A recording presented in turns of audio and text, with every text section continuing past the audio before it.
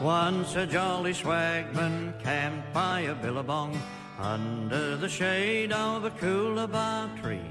He sang as he watched and waited till his billy boiled. You'll come a waltzing Matilda with me.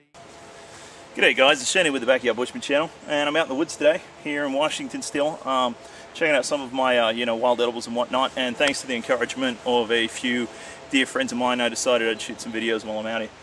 Anyways, um, this isn't particularly a wild, well it isn't a wild edible at all, probably tastes like crap but at any rate as you can see on this tree here we got this little white thing and anybody that's uh, you know got allergies and whatnot, seasonal allergies, will tell you in Washington State, it's not the only place you get it of course, uh, you get this lovely stuff here called cottonwood, okay?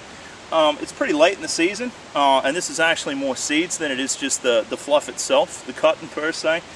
Um, but any time of the year, about, you know, June, uh, around then, you'll find this stuff absolutely all over the place. Uh, it's ridiculous, and I'm talking about blanketing the parking lot kind of stuff, you know.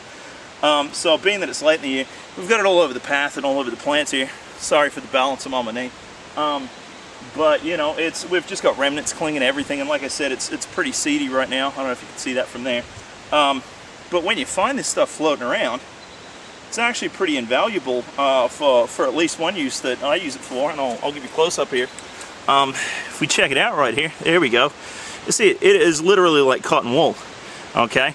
Um, and the good thing about that, of course, is that it's it's a freaking ripper fire starter. I mean, this thing will take a spark like you wouldn't believe. Um, I'd love to give you guys a demo right now, but I've got a bit of a wind chopping through here. I'll give it a shot and see what happens. Just give me one second, all right?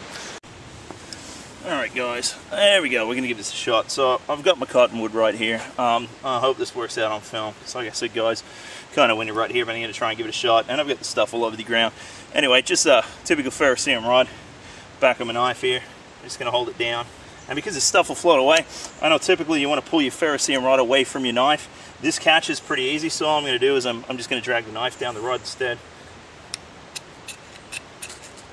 There we go, done. And it's burning. This one's a bit grubby, um, but she's certainly burning, and if you can't get a fire started with that, well, I would suggest some more practice. There we go again. Like I said, it's like cottonwood.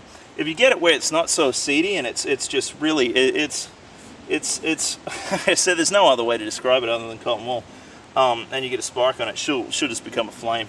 Um, I don't know if you'd want to add some Vaseline to it, but at any rate, again, it's a really good natural fire starter.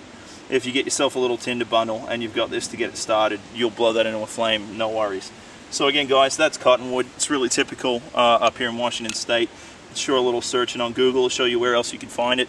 Um, I'm pretty certain that all of you have seen it before, but at any rate, uh, thanks for viewing, guys. Um, there's going to be plenty more videos today, done today. Uh, should be up over the next couple days. Um, I really appreciate your support, and I will see you next time.